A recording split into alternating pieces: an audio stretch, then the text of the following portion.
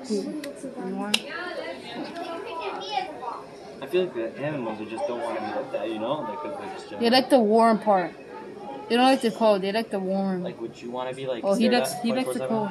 In a cage? I mean, food? it's like a resort though.